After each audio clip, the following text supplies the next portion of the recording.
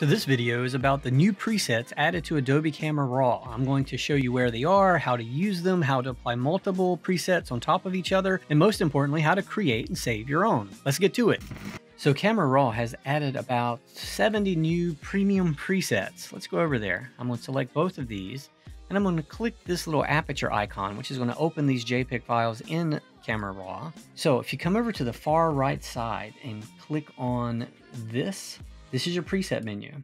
And remember, Adobe Camera Raw has the exact same develop functionality as Lightroom. Adobe has said it's like having two different color cars with the exact same engine in them. Everything that drives Adobe Camera Raw, they're the same exact algorithms that drive Lightroom. So Lightroom has had presets forever. Now they finally added a lot of them, a lot of good ones into Adobe Camera Raw, though they have had some presets before in the past. Before it was just like color and creative and black and white and portraits, but now look at all these different styles. We have portrait presets for deep skin, medium skin, light skin. We have auto retro, black and white, cinematic 1 and 2, futuristic, vintage. We have presets for food. We have presets for landscape. And here's how you use them. Let me click on cinematic and I'm just hovering. It's a great place to start your editing.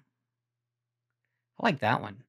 At CN16, I can favorite it by putting a star right here and it will add it to my favorites. So I can just always click it to apply it. This way, if I had 10 images open up in Adobe Camera Raw, I could just click the next one or I could select all of them with the shift key and just click that same preset and it will apply.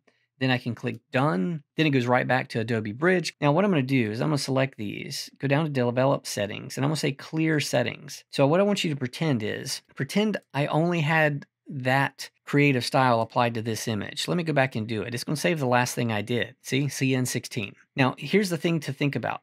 What if I had 100 images that I'd pre-selected, I've kind of edited down, and I said, okay, all I have to do is select those images in this folder by hitting Command A. I only have one other image here, but I could easily have 100 or 1,000. It doesn't matter. And then all I do is right click, go down to Develop Settings, and I could either do Previous Conversion or I could also just hit CN16.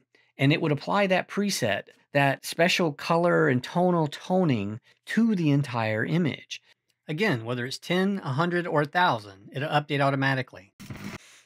So let me show you another application. So let's say I, I go back in, I can either hit Command or Control R or click on this little aperture icon. It'll open up in Bridge's version of Camera Raw. I'll come over to this preset panel and let's say I went into Portraits Light Skin and I come all the way down to PL11 and, and I click it to apply it officially. Not like, so it's not just a hover over thing. And it's like, you know, I really like that, but I'd like it to be more faded.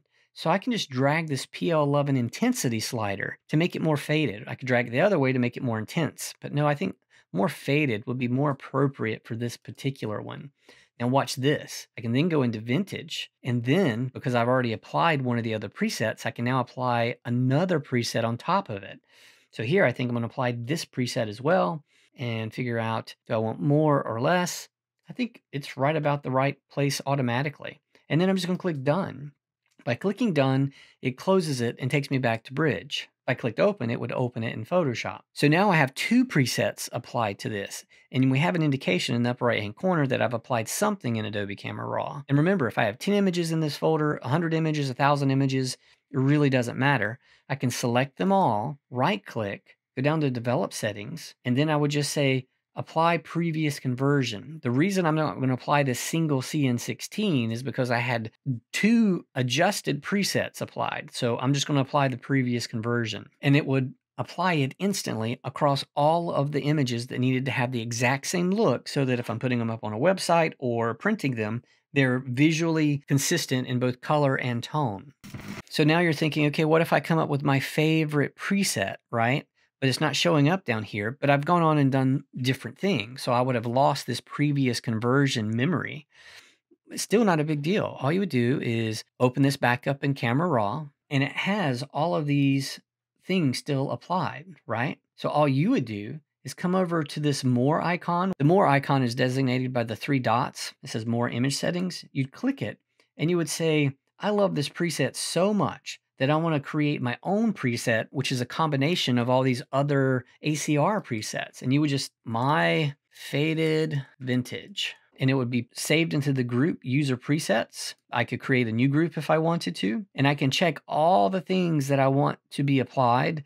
I can add things like auto tone or auto black and white mix. So you have a lot of options and just click OK. So now under the user presets, I have this My Faded Vintage. So what I'm gonna do is I'm gonna click done. I'm gonna select both of these, right click, and I'm gonna say clear all the settings. So now when I select an image and go back over to ACR into the preset panel, I can just look at my user presets and there's my faded vintage and I can apply it. Click done. And then I can go back and select that one or a thousand images. And then I can do develop settings previous conversion and it's going to apply that to every single image in that folder. How amazing is that? Bang, bang, baby. It's a new day. Hey, if you like this video and it helps, you can help me. Smack it, whack it, and crack a lack it. Take care. I like subscribers. That's awesome. Whoa. Yes!